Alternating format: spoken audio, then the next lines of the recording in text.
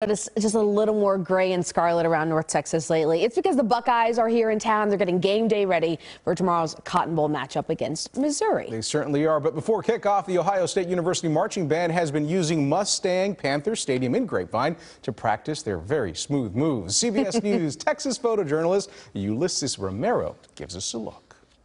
We're here to see the best damn band in the land practice, the Ohio State Marching Band. I drove here from Austin this morning just to see my Bucks. It's a tradition that stretches back generations.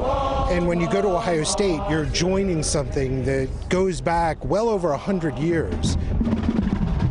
Love them. I've never seen them in person. I've only seen it on TV, and they are fantastic. I'm a drummer, so the percussion's my favorite. Who do you prefer seeing, the football team or the band? The band. Always the band. Say, hey! Can you give high fives? Sure. Hi. How are you guys? We're doing great. Good. We loved hearing you guys. You guys are sounding awesome. Awesome. Thank you guys so much. It genuinely Like, means a lot yeah. us. No, it's awesome. Because you yeah. guys are amazing. No, I'm actually a Longhorn fan. So what brings you down here? So my son is a huge tuba player, and Ohio State has one of the best tuba sections in the world.